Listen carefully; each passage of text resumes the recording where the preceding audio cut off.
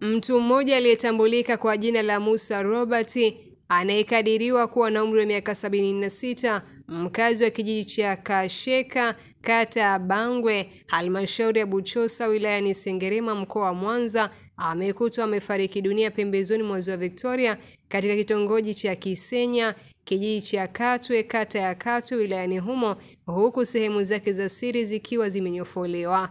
Ofisa mtendaji kijiji cha Katwe Ezekiel Gyalula akizungumza alithibitisha kutokea kwa tukio hilo ambalo limeleta simanzi kwa wananchi wa maeneo hayo. Alisema kuwa alipata taarifa kutoka kwa raia wema waliopita maeneo hayo wakiwa wanakwenda kufanya shughuli za kujipatia kipato, ndipo alipoona mwili huo na kutoa taarifa.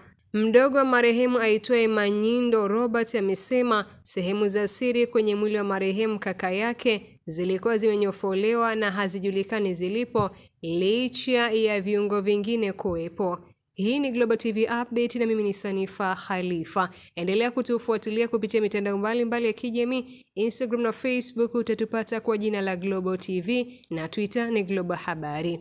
Bila shaka wafahamu kwamba tarehe 14 Februari ya kila mwaka ni siku ya wapendanao, yani Valentine's Day. Naam, zawadi, outings, dinner dates na mengine mengi hufanyika. Cha Pride Tanzania tunakuongezea na jambo hili muhimu sana.